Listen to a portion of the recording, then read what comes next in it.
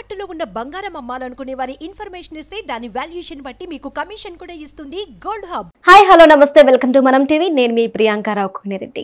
ఏటా ఫాల్గుణ మాసంలో పౌర్ణమి రోజు హోళీ జరుపుకుంటారు.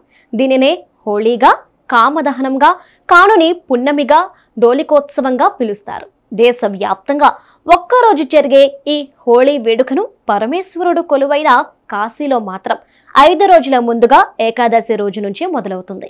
అయితే హోళీ వేడుకలు అంటే ఎక్కడైనా రంగులు రంగు నీళ్ళతో జరుపుకుంటే కాశీలో మాత్రం చితాభస్మంతో జరుపుకుంటారు.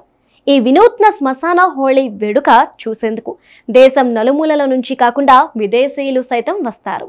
శ్మశాన హోళీ జరుపుకోవడం వల్ల అష్టదరిద్రాలు తొలగిపోతాయని భక్తుల విశ్వాసం. కాశీలో హరిశ్చంద్ర ఘాట్ వద్ద చితిమంటలు ఇరవై నాలుగు గంటలు మండుతూనే ఉంటాయి. ఈ ఘాట్లో ఏకాదశి రోజు చితాభస్మాన్ని చల్లుకోవడంతో హోళీ వేడుకలు మొదలవుతాయి. ఈ సమయంలో నాగసాధువులు బంగ్ అనే మత్తు కలిగించేదాన్ని తాగుతారు. దీనినే పరమేశ్వరుడి మహాప్రసాదంగా భావిస్తారు. వేడుకకు ముందు చితికి మంగళహారతిచ్చి ఢమరుకం మోగించి దిక్కులు పిక్కటిల్లేలా పంచాక్షరి మంత్రాన్ని జపిస్తారు. కేవలం మణికర్ణిక ఘాట్తో పాటు ఆ బూడిదను కాశీ విశ్వనాథుడి దేవాలయంలోకి కూడా తీసుకెళతారు.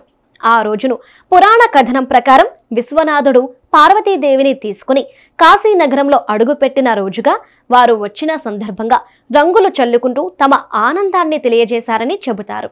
అందుకు గుర్తుగా పార్వతీ పరమేశ్వరుల విగ్రహాలపై రంగులు చల్లుతూ ఊరేగిస్తారు. ఈ సాంప్రదాయ వేడుకలకు ఆలయ ప్రధాన అర్చకులు ప్రాతినిధ్యం వహిస్తారు. సాధారణంగా చనిపోయిన వారికి శోక సంద్రంతో వేడుకోలు పలుకుతారు. మనం చూసుకుంటే హరిశ్చంద్ర ఘాట్ మొత్తం అలాంటి వాతావరణమే ఉంటుంది. కానీ రంగభరి ఏకాదశి నాడు మాత్రం అందుకు భిన్నంగా ఉంటుంది. శివభక్తులు కాలుతున్న మంటలపై పాటలు పాడుతూ నాట్యం చేస్తూ భక్తిలో మునిగి తేలుతూ ఉంటారు. ఒకరిపై ఒకరు బూడిద చల్లుకుంటూ హోళీ వేడుకలను జరుపుకుంటారు. విశ్వనాథుని సన్నిధిలో బూడిదతో రంగులు చల్లుకుంటూ హోళీ వేడుకలు జరుపుకోవడం వల్ల దయ్యాలు పిశాచాల బెడద తొలగిపోతుందని చాలామంది నమ్మకం. అంతేకాదు ప్రతికూల శక్తుల నుంచి విముక్తి లభిస్తుందని వీరు విశ్వసిస్తారు.